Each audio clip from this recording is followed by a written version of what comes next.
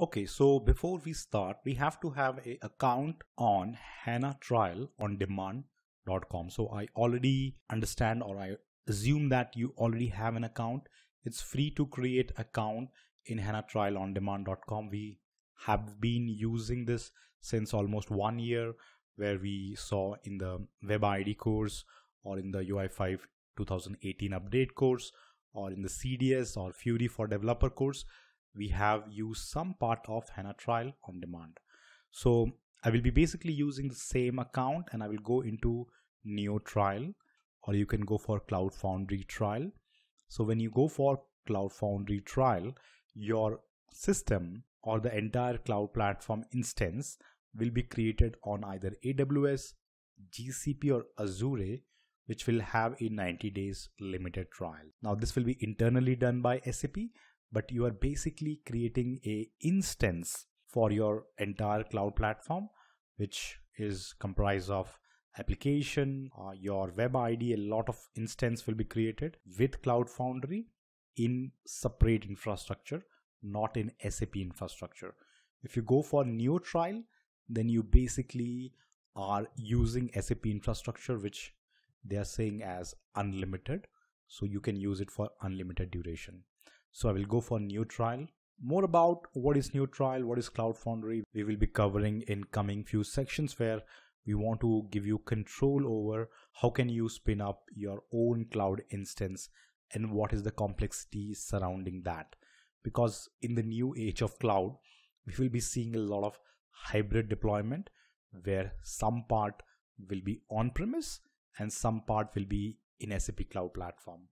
And this is the on premise part which require certain level of understanding of how the systems are laid on or how the systems are actually built or should be deployed. So we will be giving you exposure to that based on um, how you require it.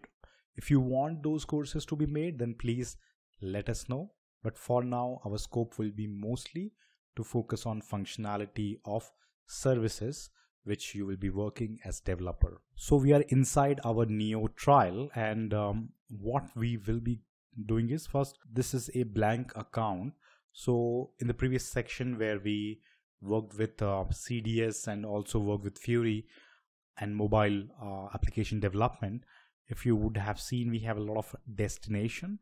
Then in this scenario, there will be no destination because uh, we are starting fresh to work with workflow. So if you go to service here, and uh, this is a fresh account with hanaondemand.com. And uh, the first thing which we do to start portal development is we go into our portal here and we enable that. So once we enable portal, it will basically take few seconds to get a green enable.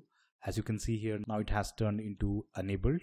And um, once we enable the portal, then the next thing which we search here is workflow. I'm using control F or in Mac command F for the searching entire page here, but you can also search in this section where it search all categories and also specific uh, types of service which you have. So this is the workflow. It's not enabled. So first you enable the portal. Then the second thing is enable workflow.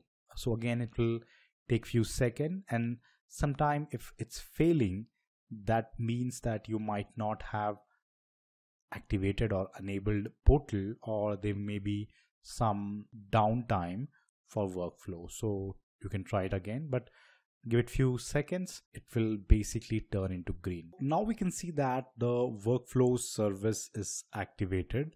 Now the next step is going to go inside the configure service. Now if you have hard time to remember all this step because there will be a lot of step then we will be also providing you this developer helper guide where all the steps are properly mentioned. So first step is to activate portal activate workflow going to workflow configuration which is the step which we are currently in. So if you go here then you see destination and roles now inside the roles, we will be looking into what are the roles which are not provided to us and will be try to give.